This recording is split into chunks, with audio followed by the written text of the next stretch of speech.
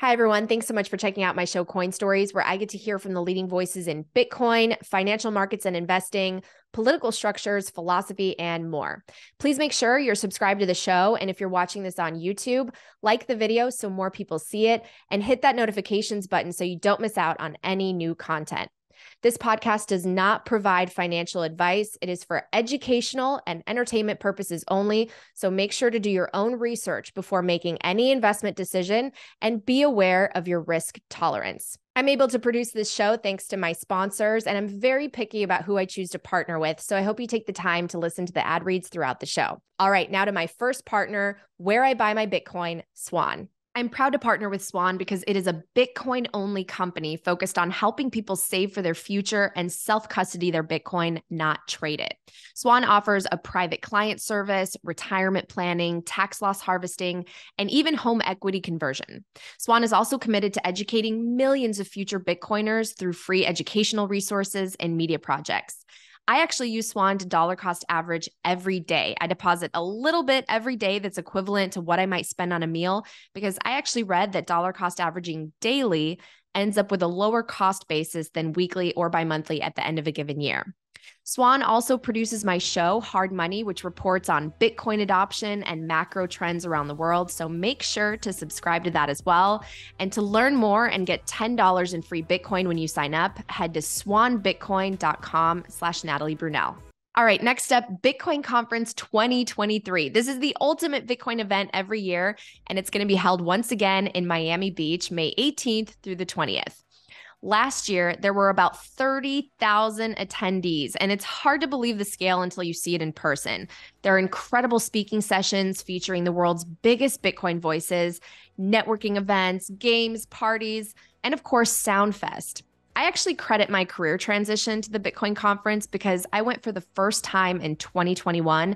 And that's where I dropped my first episodes of Coin Stories, not expecting this to become my full time job at all, but just hoping to meet Bitcoiners and find more guests for the show. I actually went up to people like Michael Saylor backstage with a business card. And that's how I got him to come on the show. So anything can happen there, especially if you dream of working in the industry. Ticket prices go up every month until May, so don't miss out. And for 10% off, use the code HODL at b.tc slash conference. I'll see you there. I'm so excited to be here in Jackson, Wyoming for 21 minutes with Jeff Booth, which is awesome because I've gotten to interview you around the world now. We, we might as well start a tour. Why not? Why not? so, first of all, how are you? How's the family? Because you're an avid skier, you're a fur trapper, you're a wake surfer. I mean, you do pretty much everything. I wouldn't say everything, but I like a lot of disparate uh, things. yeah. So Jeff, I want to chat with you because I I just had the craziest experience traveling, and it made me think about just how there's no customer service anymore in this world. It seems like the things of value, the things of morality are just starting to erode more and more. And I really I really believe it has something to do with our money, our fiat system. Because why do you need to treat customers well anymore, right? You have this big corporation, you get easy money for for your debt and then you can buy back your own stock, you can pay your executives really really well, not invest in capital and equipment and all of that. And then, um, and then you get bailed out when something happens by the government. So, can you talk a little bit about your thoughts on the current system of incentives and how Bitcoin could probably fix that. Yeah, and it, it, we've talked about this before, but it has to because the existing existing system base is based on approximately 400 trillion dollars of debt that is unrepayable. It's already insolvent. And we put up with a system where we elect people to tell us a lie that says we can pay it back by manipulating money faster. And that manipulation has a real cost. That manipulation of money in the form of inflation um, is wage deflation.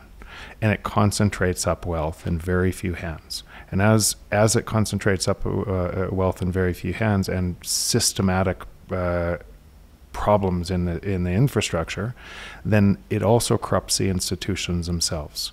So the institutions that are designed to protect us from monopolies of money are functioning by that manipulation of money. In other words, you could say, how could how could it be possible that regulation could protect you, in, or financial regulation could protect you from losing your money from a system that is designed to steal your money.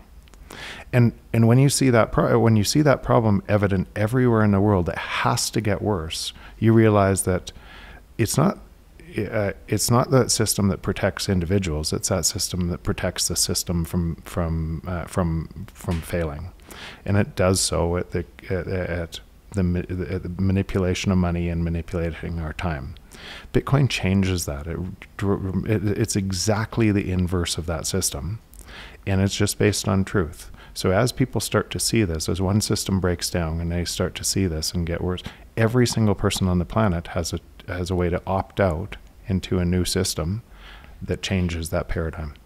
One of my favorite things about following you is you're really focused on the future we can build, the hope and the positivity around what life, what corporations, what business, what commerce, what economy, and what people could look like under a Bitcoin standard. And you always say, you know, work on the world you want to see. Don't complain about the one that you're you're in that's yeah. full of all these problems. So let's focus maybe a couple of minutes on some of the the ways that different aspects of our life would be maybe better under a Bitcoin standard, starting with, let's say, business. So, you know, today a company isn't incentivized to really give good customer service when they're too big to fail. How would business be under a Bitcoin standard and a monetary unit that cannot be debased or inflated or manipulated? Well, they're big, big questions because because what people don't understand about Bitcoin, the hardest thing to understand Bitcoin is they have to unwind all of their belief structure about the existing world that they live in based on that manipulation and how it works.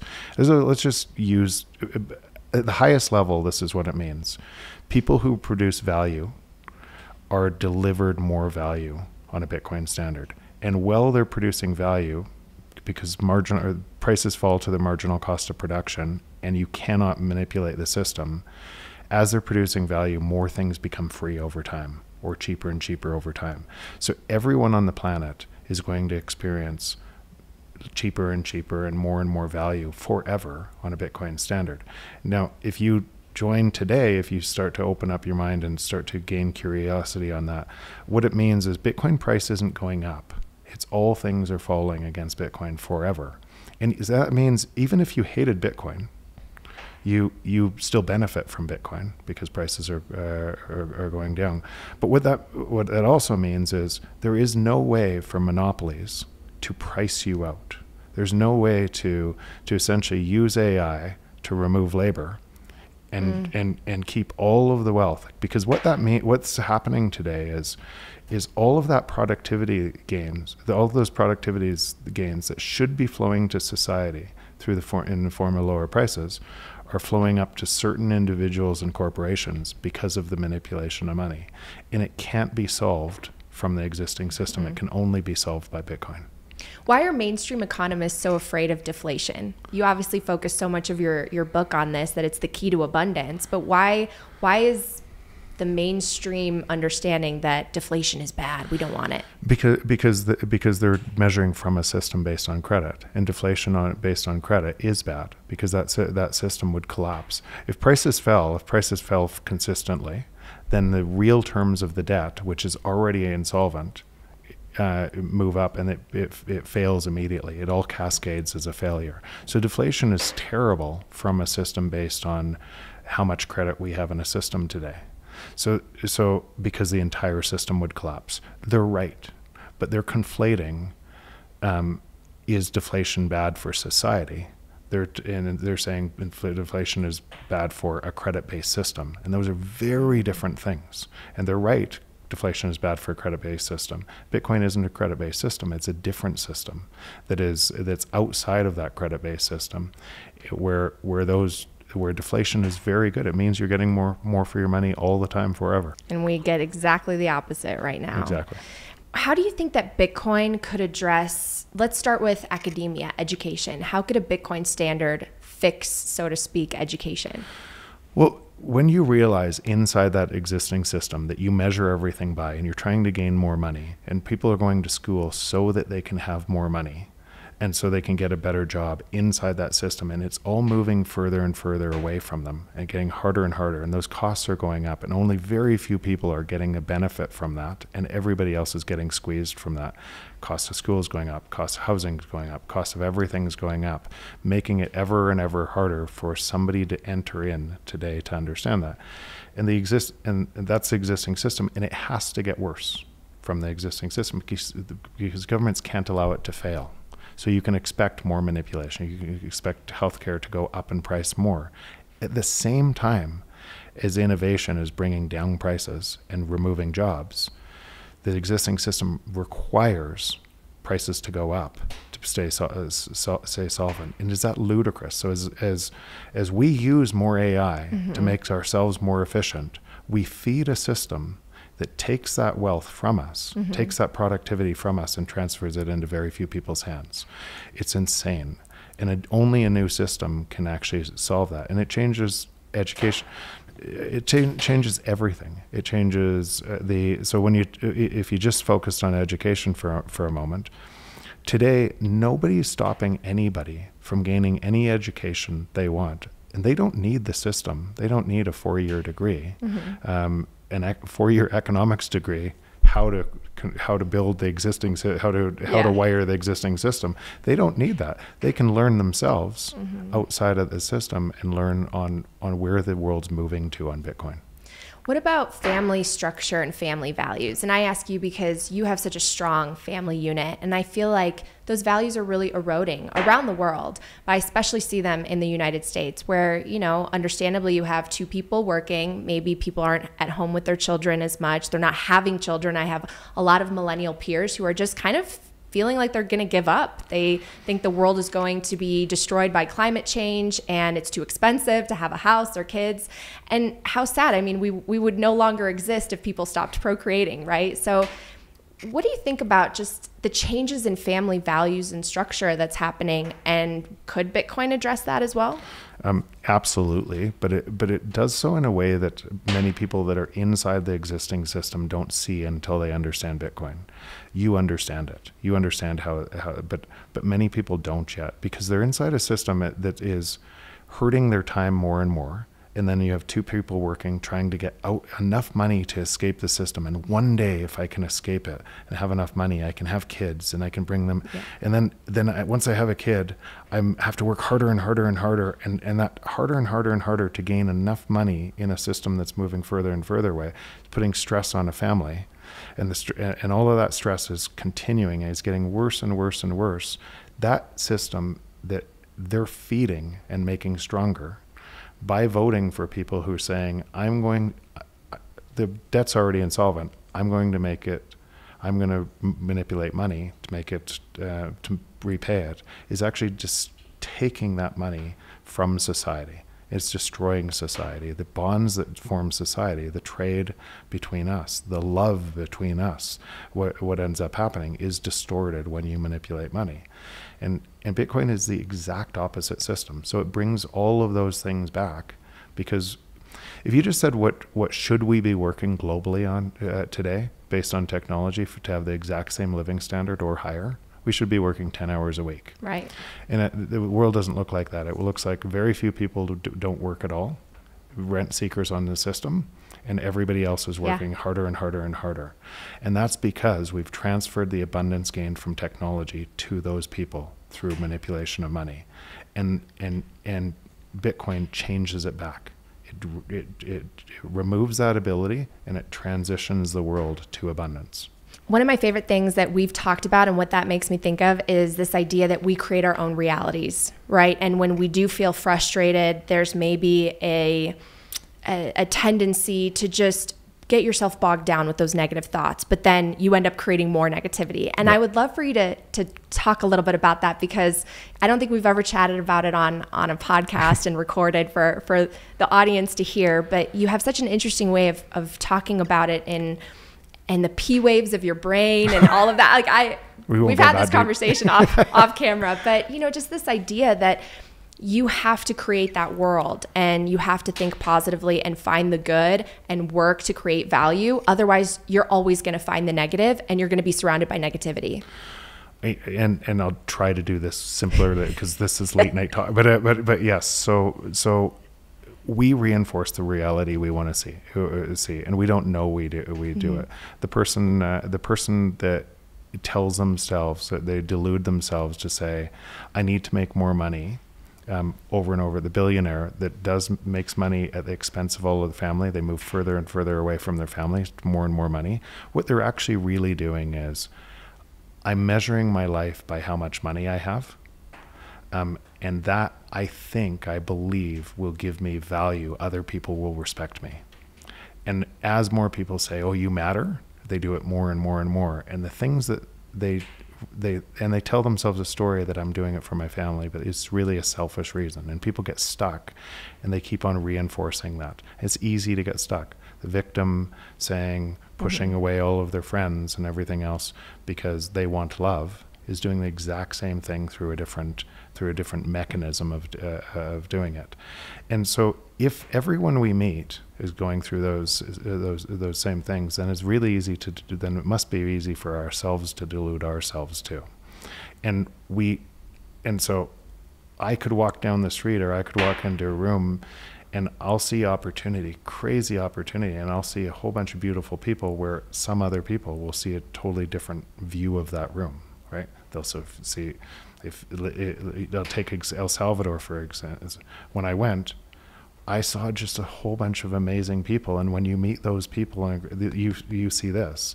Mm-hmm. Many people would go to El Salvador, and they wouldn't see that they would be scared to death or those people are going to mug me and everything else and they might see the same thing back as a reflection so our beliefs our beliefs in what the world looks like and our opportunities on those beliefs are really a function of how we see the world and the P wave. So that, that we got to talk about that because so I've been getting more and more interested in in just neuroscience and how we take in information, how we process it, how we remember it because I think the memory is something that's completely fascinating and it's something important obviously for what we do. Um, but just this idea that all of a sudden your your brain is this supercomputer, right? We talk yeah. about Bitcoin as our super supercomputer network, but our brains we don't even have all the knowledge that that we would like to, right? About about how it functions and how it stores information. And it's constantly taking in information when we're not even aware. And then all of a sudden something could happen and we notice it, but we don't realize we were listening, right? And yeah. how does that relate to all of this? Yeah. So, so what ends up happening in your neurons is a a P3 something that you'll focus on will create a, a a P3 wave. You, I use the example: you're in a room of hundred people, and and you're in a room of 100 people and and as that p3 wave uh, you're talking i'm talking to you and that 100 people natalie and and and that conversation is in our consciousness. And i can't hear i can't feel the temperature i can't think of all the music playing in the background the words what song i can't even think about the, those things. And then somebody says my name across the room and i zoom out of this one and i'm in that conversation trying to listen intently. And what that is is is a new P3 wave is formed. And so I must have been hearing everything all the time. But I wasn't aware I was hearing it all the time because my attention focused what I what what I wanted uh, to hear. And so if that's true, and that is true, then that means that if you can hear all of these things all the time, then it's your own perception of those things, of which ones you're tuning into and which ones you're tuning out of, and it reinforces in your brain. So if your perception of the world looks like this, mm-hmm. it is what it will reinforce, and you'll only see that in the world. And for you, it will be true, right? It's not that it's false. You just don't see all of the other richness mm-hmm. because it didn't exist for you, and it, and and and that abundance is all around us if we could only see it. Well, and I do find it interesting because we're shouting, right, about Bitcoin to people. They're getting the information sort of in headlines or on their feeds. They think we're crazy, a lot of them, and it's not entering. And I think what's been interesting too about being in this space is everyone has such a different pain point. Um, for me, it was my family with our immigration story and losing everything in the financial crisis. And I had a seed planted that I didn't know I was searching for Bitcoin. And for you, I feel like throughout your career, but also your personal journey, you've had pain points that probably led you to Bitcoin before you even knew it. I'm, I'm an entrepreneur. And so when I see when I see pain or when I see problems, I think, oh, okay, we could create, we could solve that problem. Mm-hmm. So I don't actually live in the pain. I every single thing as I see as a problem, I, there on the other side of a problem is an opportunity. That is the entrepreneurial journey. Mm-hmm. So when I understood at the level of things that I was building, um, and and how they were tied to technology and how I was trying to create good in the world, that the overall system had to take that and and and hurt the world. I just saw a different problem. Mm-hmm. And out of that problem, I saw the opportunity in Bitcoin. And, and out of that, I created other opportunities in investing in the space and all of the people that are around it that are just so, such beautiful people. Mm-hmm. One thing, if I'd said on, on us shouting at Bitcoin about and other people not listening, I, you know, I say this all the time. You have to meet people where they are. Yeah. If you ask them what their problem is, and then you ask why how do you fix it why mm-hmm. how do you fix it and you go down about five whys on how to fix it you'll find that the very problem that they're dealing with is actually solved by bitcoin but they mm-hmm. don't know it and so so instead of uh, through inquisition of solving their problem is a far easier way to meet people where they are than you trying to tell them um, yeah. what uh, how it fixes their problem well it was you who really made me think in that that phrase of if if technology is supposed to drive prices down, why do we see the cost of living, houses, everything going up? And when you start there and start to unravel, people do say, "Oh, well, well, yeah, why why does that happen?" And it's like they know something's wrong, but they almost assume that it can't be changed or they accept that things just are the way that they are. It's like death, taxes, yeah. houses going up. that that's why that's why that book because of the way I wrote it, it forced people to kind of to wait. And it, yeah. and it, created an incongruence in their own mind mm-hmm. that now how do you solve that incongruence and then bitcoin became becomes a, a way to solve it all right we have just a couple minutes left i wanted to just touch on the macro picture because last time we spoke and it's like things are going to break things are going to break they haven't broken yet, but at the same time they have. They we just have. don't see the consequences yeah. and the full impact yet, yeah. right? So what's your take on the whole situation now? So when people are talking about this, I have a hard time even so so nonlinear systems um, you can't measure linear. Mm-hmm. So so so a butterfly flaps its wings and somewhere there's a, there's a tornado. Same same thing. So what people aren't picking up and and what they're measuring inside that system is when interest rates are going to go up, when they're going to go down, whether how much inflation. And it's it's it's staggering that we live in a world everybody knows the money's the only thing that makes it work is money manipulation and we're talking about these other things. What rate of theft should we have in our society versus should we have theft in our society and money? And, and so all of the intricacies around when, what, everything else, I don't even care because I know, like, I literally don't care. I love that you're so chill about cause, it. Because it, because it's, it's yeah. pre-programmed it's going to get worse and it's going to get worse in a whole bunch of different ways. Yeah. and different nations are going to look differently and, and they're going to uh, they're going to collapse at different times. It doesn't matter. I'm immune to it over into another system and i care about this that system emerging fast enough yeah. to to stop a whole bunch of other people from getting hurt. Right. It's really just a question of time. Yeah. And that's what we're focused on the time chain all right we made it to exactly 21 minutes oh my gosh this nice. is amazing i'll just leave it at one question you can't say bitcoin what is the thing that gives you the most hope right now hope joy uh the people within bitcoin yes how about that I love it. Thank you so much, Jeff. It's always a pleasure and it's an honor to know you. And everyone, check out Jeff's book, check out Jeff's companies. Jeff's the best. Thank you. Thanks. It's time to hear these messages from my partners. First up, Fold. Fold is the best Bitcoin rewards debit card and shopping app in the world. You can earn Bitcoin on everything you purchase, from Amazon to groceries to sprucing up your wardrobe with Fold's Bitcoin cashback debit card. And you can win free Satoshis every day or even play for the chance to win a whole Bitcoin by spinning the daily wheel and the purchase rewards wheel. I have an alarm set every day so I don't miss out on spinning the wheel and earning free sats. And it's also a great app to get someone that is totally new to Bitcoin.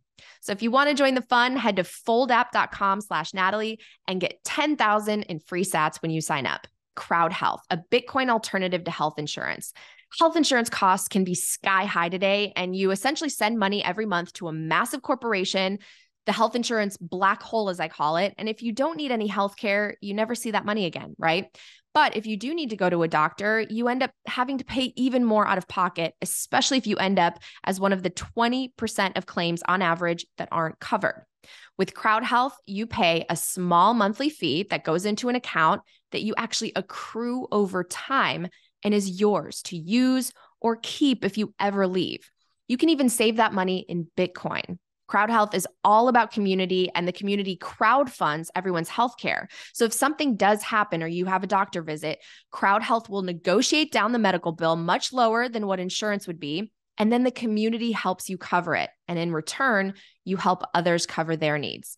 For more information, you can head to joincrowdhealth.com slash Natalie. And if you use promo code Natalie, you get six months for $99. All right, next up, iTrust Capital. iTrust Capital lets you invest in Bitcoin for your retirement with the tax benefits of an IRA. You can defer taxes on gains using a crypto IRA or with a Roth IRA, you can withdraw tax free at retirement. And here are some important things to know given the recent crypto contagion. iTrust does not lend against client assets. iTrust accounts are also FDIC insured up to 250,000 US dollars, and iTrust does not hold customer assets or money assets are actually held between Coinbase custody and a custody platform called Fireblocks. And Fireblocks, by the way, underlies pretty much the entire industry. So if you're doing retirement planning and considering adding Bitcoin to your IRA portfolio, you can sign up for an account and get a $100 bonus at itrust.capital slash Natalie Brunell. Thank you so much for checking out this episode of Coin Stories. Again, hit like on the video and make sure that you have those notifications on so you don't miss out on any new episodes. And I would love to hear from you. If you have suggestions, feedback, guest requests, please email me at natalie at talkingbitcoin.com. Thanks so much.